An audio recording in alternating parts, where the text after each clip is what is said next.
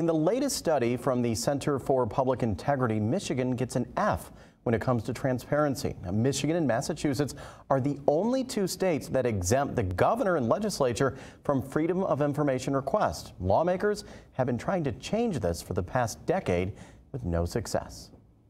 Under Michigan law, anyone has the legal right to request records from public officials, but there's two big exceptions, the governor's office and the state legislature. We're one of two states where you cannot FOIA the governor's office, and we're one of eight states where you can't uh, FOIA the legislature.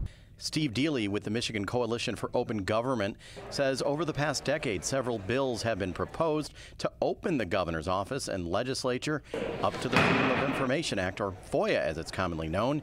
Every single one of those bills died before getting to the governor's desk due to a lack of support or not being put up for a vote in the Senate.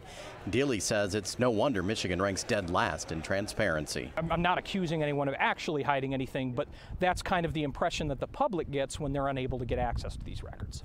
Delie says this should matter to everyone because a government that is not open and honest has the danger of losing credibility. And we as the public need access to this information to know what's going on behind the scenes in government and to be, really be able to hold our officials accountable. Two lawmakers, Democrat State Senator Jeremy Moss and Republican State Senator Ed McBroom, are trying to change all that. Moss and McBroom have reached across party lines for a bipartisan bill that would make the governor and lawmakers open to FOIA. Look, this is about being open, transparent about who you're communicating with out of the office. Um, are you doing the job that your constituents asked you to do? If this legislation would have been in, in play back then, things possibly could have turned out different with water? It wasn't until the fall of 2015 uh, that we really learned about uh, the details uh, of the Flint water crisis, which could have been unearthed had this proposal existed. Senator Moss says former Governor Rick Snyder and his staff were exchanging emails about the water crisis early on and says FOIA could have stopped the crisis before it got worse. My office, I represented Southfield, and my office just so happened to be next to the state representative for Flint at the time, Sheldon Neeley, who's now the mayor of oh. Flint. Uh, and so he was telling me from the early part of 2015, there's a crisis on the ground. You should see our water. It's brown, it's got sediment in it. And then Governor Rick Snyder did release thousands of emails and documents that showed conversations about issues with the water long before they were made public. The right thing to do. It is that but it has real world implications for real people here in the state of Michigan. This most recent FOIA legislation has already passed the House and is just waiting to be put for a vote in the Senate.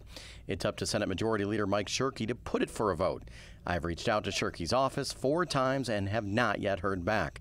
Delie said Shirkey is going to have to be pressured to push this forward. We really need the public to get engaged and active on this issue. While this pending legislation seems promising to transparency, Senator McBroom said some will always find a way around the law. It's just like any other problem. You, you find one solution, and those who want to misbehave will find a new way to accomplish their ends. And one of Governor Whitmer's promises when she ran for office was to be transparent. I have reached out to her office on whether she would support this current legislation pending, but her office has not yet got back with me.